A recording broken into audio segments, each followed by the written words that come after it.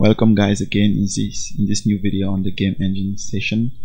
So in the previous video we've created our event handler class our input handler and we were able to test a push of key. So when I push here you can see we have here saying we have the computer saying key A is being pushed. So that's that's what we did before. So we didn't want to handle this for each component uh, so we, we did want to make it globally so that we could use it everywhere in the code whenever we want to.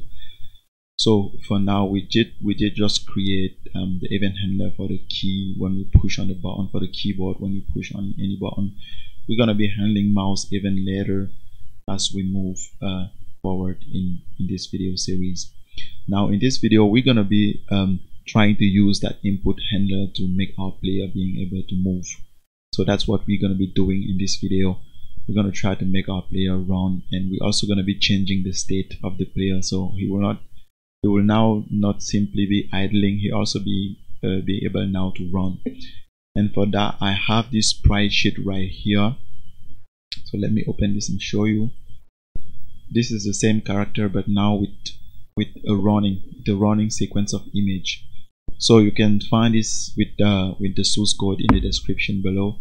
You can still go out and download that if you don't have like something like this. But I'm not the one who created this. I just downloaded it from from I forgot the name of the website. So this is not me. This is not my work. And uh, yeah you can still find a lot of sprite and stuff out there and you can use them for this for this uh, video series. And you know you will come up with something good now um, our running animation sprite sheet has eight frames. So we're gonna be creating now we're gonna be setting the state of our animation with eight frames. But first we need to load that sprite sheet if you remember our texture manager right here. So I want to load it right here and I'm gonna call it player run. So that's gonna be the ID and here I'll simply give the name of the file that has to be loaded so if you guys don't know anything about this texture management stuff you can still go on the playlist. The link is in the description below. We've created a texture manager class which loads and render images for us. Now we've loaded this. We can simply go ahead and use it and see if it's working before we even get started doing uh, other things. So and um, where here this is where we set the property of, of our animation. Let's go ahead and put it. And uh, I want our player to start with the run. So I could have changed it here by setting the, the value of the texture ID to player run but just want to load it like that. So if I run this this should normally create a run animation. You can see our player running but he, he ain't moving right now so um, I don't want to flip this anymore. And uh, I don't want to let the player fall. So I'm gonna comment the Y axis here so that we don't have that anymore. And I'm gonna increase this make the animation a little bit slower so we could see the player actually running. So you see now he's moving forward because we still have the x-axis force applied to it. So let's increase that a little bit so we can run a little faster. So let's say go ahead and put like 0.8 right here as delta time. So you see the player can run and now with more speed. So that's basically how uh, we can create animation and change state. Now we simply gonna what we're actually gonna be doing right now is we're gonna be creating two button. We're gonna be uh, using two button to move the player. Whenever this button is pushed then we render the player with this animation and when that other is pushed we render with that animation. So what we need to do right here first of all we need to remove this. We don't need this anymore. It's working so we don't need to have it there. But we still need to update this one right here the listing because that's that's in. So we we can simply go um, to our warrior and we can simply paste that thing here so I'm going to be using A and D for moving forward and backward. So, another way. So I'm going to copy another one also and put it here. And this is going to be D. So I don't need this text anymore. So what we're gonna do is whenever we push this button right here we set our animation state to the to player run. So we do it like this. So did it like that. Come say player run. Let's go ahead and put it here. Player run. So I'm gonna copy that paste it here also. But when there is nothing going on we want it to be idling. So that's why we can simply go ahead here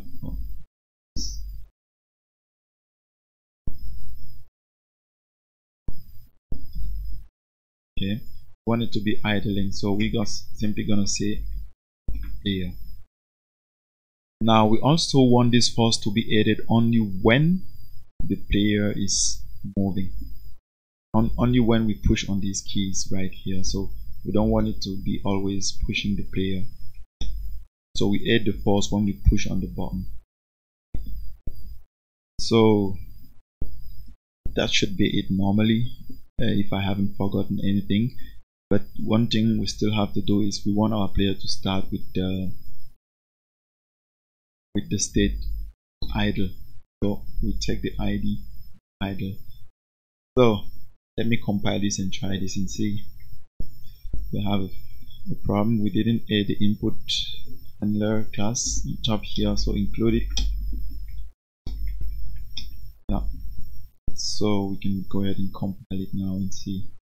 There is something missing right here. I don't know what it is. Ah this should be a string not like a value. So we see this. Now if I push the D key the player can move. Now there is something missing. We should set the value here to 6 yeah the 6 6 frame because the idle animation is with 6 frame. That's why you see we had some frame not showing up because you know the value was higher than what we the computer was expecting.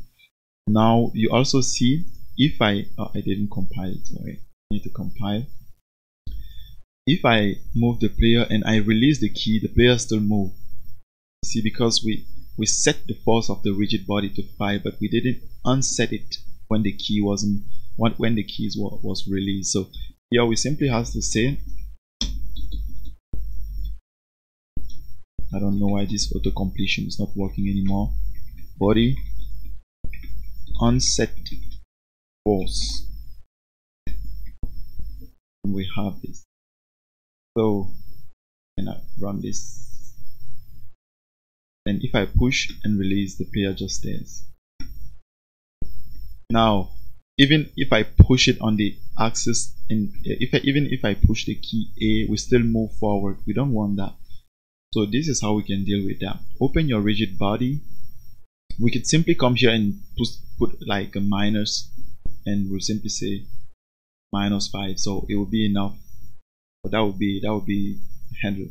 But I don't want to do it this way. I want like I want things that are more structural. So I'm gonna go in the physics rigid body and I'm gonna define two constants right here for now. Define I'm gonna say forward. It's gonna be one. I'm gonna define backward. It's gonna be minus one. So you can do the same thing for up and down. We won't use it right now but that that could also be important when you want to make like a map game where you have your player moving in four direction. So here upward and downward not with a but o downward minus yeah it should be minus 1 to up and 1 to down. So if I go back to my player since we already have rigid body here here I'll simply say multiply with simply say with forward. So and everything will be handled backward so and if I just run this then I can move back and forth. That's the idea of that. And uh, you see our player is not changing the direction of the of our sprite. We want our sprite to change the direction. So this should actually be backward right here and this one should be forward now it's because we have to flip our player when we're going backward. So we have to say SDL flip horizontally.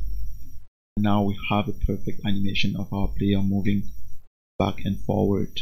You can see. I really enjoy it. I like it. It's pretty nice. We have everything there and you know. So thank you for watching this video on Madsycode channel. So guys remember you can go out and support me on Patreon and you can still become a patron and get access to early content. You can even download the final source code which you see at the beginning of this video. You can get that if you want but yeah. For now you can simply subscribe like this video and uh, yeah see you in the next one. Ciao